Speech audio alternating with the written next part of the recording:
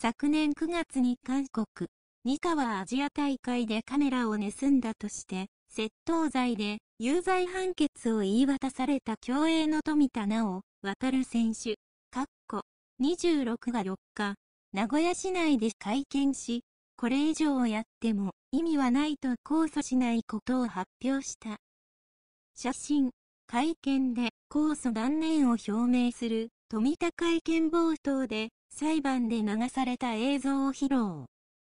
その後、富田選手は、これだけ映像が出て、裁判官も僕ではないと言ってくれたのに、有罪判決が出て悲しかった。